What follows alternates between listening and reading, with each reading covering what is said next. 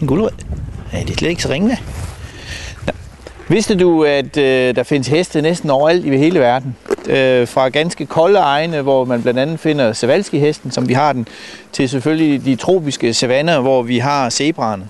Og de ser meget forskellige ud alle sammen. Nogle er ganske små, som de her, øh, og nogle er enormt store, og nogle har striber, og nogle er ensfarvede, og nogle har pletter. Man kunne godt komme i tanke om, at de egentlig er meget forskellige, men rent faktisk er de alle sammen i stand til at få afkom med hinanden. Vi har vores øh, arveanlæg inde i kroppen i noget, som vi kalder for kromosomer, nogle små pakker. Og selv det er meget forskelligt hos hestene. Det er sådan, at sådan nogle heste som dem, der står her, de har 64 kromosomer. Øh, Sevalski-hesten har 66, og der er nogle af zebraerne, de har kun 32 kromosomer.